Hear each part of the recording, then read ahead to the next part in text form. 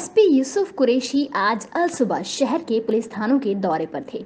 इस दौरान उन्होंने हीरानगर, विजयनगर, तुकोगंज, बाणगंगा, संयोगितागंज सहित कई थानों का दौरा किया। इस दौरान कई चौंकाने वाली बातें सामने आई। कुछ पुलिसकर्मी ड्यूटी के दौरान सोते मिले तो एक पुलिसकर्मी ने हद ही कर दी। वो अपनी वर्दी उतार कर टीआई के कैबिन में सो रहा था।